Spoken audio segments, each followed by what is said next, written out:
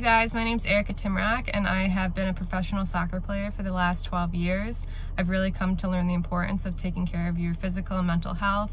Some things I do to just stay on top of it is journaling, meditating, and doing yoga. I find that if I can wake up and do one of those three things, it's a really positive start to my day and just really goes a long way. Thank you.